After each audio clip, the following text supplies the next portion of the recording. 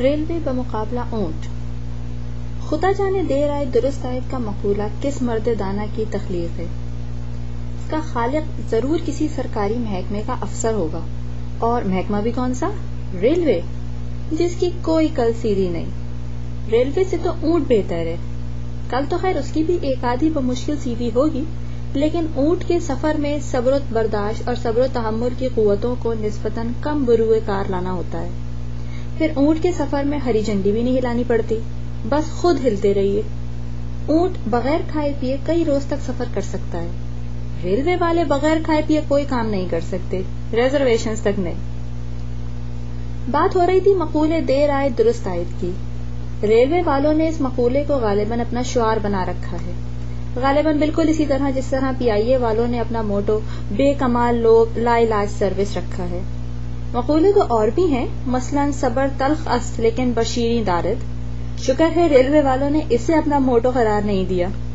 इसी तरह इंतज़ार गाह की दीवार पर इन लमाज साबरीन के अल्फाज कुंदा कराए जा सकते हैं, या टिकट घर की खिड़की पर यह मुँह और मसूर की दाल लिखवाया जा सकता है। सीट पर कब्जा करने के सिलसिले में तो जिसकी लाठी उसकी भैंस पर अमल होता ही है। कहते हैं ऊँट सहरा का जहाज़ है। होगा, लेकिन रफ्तार में रेल को नहीं पहुँच सकता। मसलन, अगर एक ऊँट और एक ट्रेन कराची से बैक वक्त लाहौर के लिए रवाना किए जाएँ तो लाहौर पहुँचने में ऊँट पाँच दिन लेगा। लेकिन ट्रेन इससे पहले लाहौर पहुँच जाएगी, यानी सारी सिर्फ़ चार दिन में। और ये जो ऊँटों के बारे में मशहूर है कि वो बगैर खाए पिए कई रोज तक सफ़र कर सकते हैं तो ऊँटों को चाहिए कि वो अपनी इस तहसीन पर मगरूर न हो। क्योंकि उनसे कहीं ज़्यादा लागर और ज़यीफ और कद में कोता हैवानात, मसलन ट्रेन के मुसाफिर कई कई रोज तक बगैर खाए पिए और सोए सफ़र करते हैं। रेलवे के मुसाफिरों के बगैर खाए पिए सफ़र करने की वजह यह है कि रेलवे का खाना इस काबिल ही नहीं होता कि इसे हलफ से नीचे उतारने की ज़रूरत या हिमाकत की जाए। अगर शौक, फजूल और ज़रूरत रिंदाना से काम लेकर चलने वाले मैदे में पहुँचा दिए जाएँ तो इस सफ़र के सफ़र आखरत में तब्दील होने के खास रोशन इम्कान मौजूद रहते हैं। एक दफ़ा ना तजुर्बेकारी भूख और रेलवे की मोहब्बत से मजबूर होकर हमने तेज रो का लंच खा लिया। एक हफ़्ते दर्द शकम में मुब्तला रहकर रेलवे वालों की जानो माल को धुआँ देते रहे। इस लंच में जो कुछ पेश किया गया था, उसका अहवाल भी सुन लीजिए। सालन के नाम पर सुख बबू का पानी रकाबी में पड़ा था, जिसमें तजरीदी आर्ट के दो नमूने मारे शर्म के मुँह छुपाने की कोशिश कर रहे थे। लेकिन शोरबा नुमा पानी या पानी नुमा शोरबा इतनी कम मकदार में था कि मरहुमा गाय की वाहिद बोटी इसमें डूब मरने से कासिर थी। कि डूबने जाऊँ तो दरिया मिले पाया आप मुझे। तहकीक करने पे मालूम हुआ कि ये बोटी रबड़ की बनी हुई थी। इसे दांतों में दबाकर चबाने और तोड़ने की कोशिश की तो चचा गालिब का ये मिसरा याद आया कि जितना खींचता हूँ और खींचा जाए है मुझसे।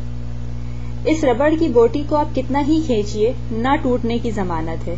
दरअसल रेलवे के सालन में आला किस्म का दरामद शुदा विलायती रबड़ इस्तेमाल होता है। लिहाजा कोई छोटी मोटी और आम किस्म की बत्ती सी इसे तोड़ना तो कुजा, छूने का भी ख्याल दिल में न लाए। एक हम सफ़र बुज़ुर्ग ने हमारे सामने कोशिश भी की। बोटी को दांतों में दबाकर ज़ोर से खींचना था कि बत्तीसी खटाक से निकली और गुलैल से निकले हुए पत्थर की तरह टिकट चेकर को जा लगी। जिसने गुस्सा होकर कहा बुजुर्गवार काट खाने को क्यों दौड़ रहे हैं आप? सिर्फ़ टिकट ही तो मांगा है?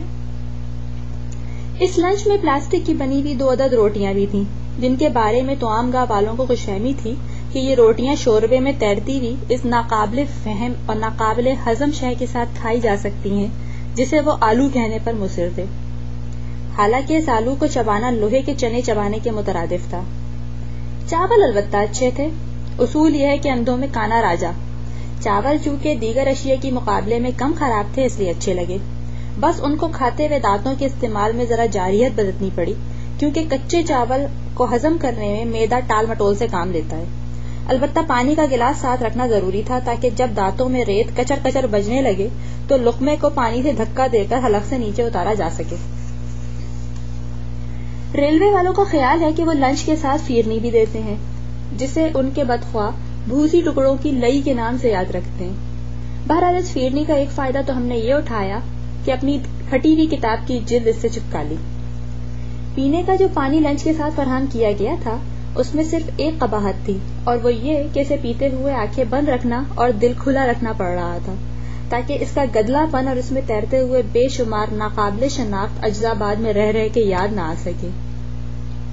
इस पानी में एक सहूलत, उसका दर्जा हरारत भी था। इस पानी के गिलास में अगर थोड़ी सी चाय की पत्ती भी डाल दी जाए तो खुश जायका कहवा तैयार हो सकता है। और अगर सफ़र में इसकी फरहमी मुश्किल हो तो यूँ ही नोश जहाँ कीजिए कि गर्म पानी सेहत के लिए मुफीद होता है और मेदे के तमाम जरासीम फौरी तौर पर हलाक कर देता है। हम शर्त लगाने को तैयार हैं कि अगर ये मेन्यू किसी ऊँट को भी पेश किया जाए तो वो भी इसे खाने से इनकार कर दे। लेकिन ऊँट को कुदरत की तरफ़ से यह आसानी मुहैया की गई है कि वो कई दिन तक भूख हड़ताल के बाद भी मस्तानी चाल चल सकता है। रेलवे का मोहताज नहीं। अशरफुल मखलूक़ात इंसान बेचारा इस कस्म के तजुर्बात का मुतहमल नहीं हो सकता। और अगर हो भी जाए तो जाबर नहीं हो सकता। लिहाजा ट्रेन में इस खाने के साथ सफ़र करना अच्छी खासी किश्वर किशाई की मुहिम है।